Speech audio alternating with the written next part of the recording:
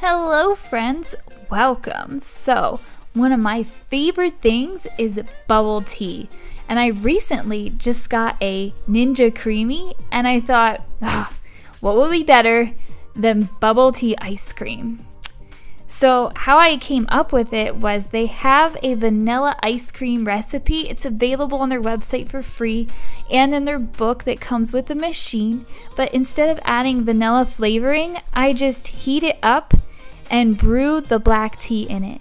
Now, when you're heating it up, you do lose a lot of volume, so I add more milk until I get to that max fill line.